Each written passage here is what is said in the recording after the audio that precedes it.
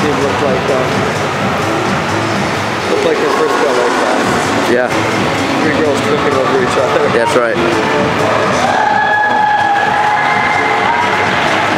Don't, don't take this this pictures. That's all right. And I'm taking video. It's okay.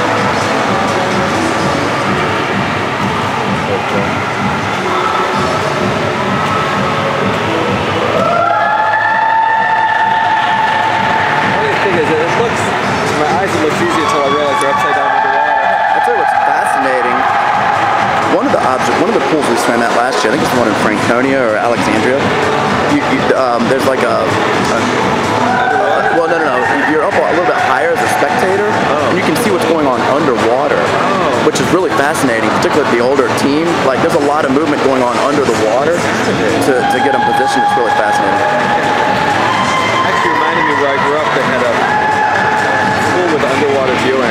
Yeah,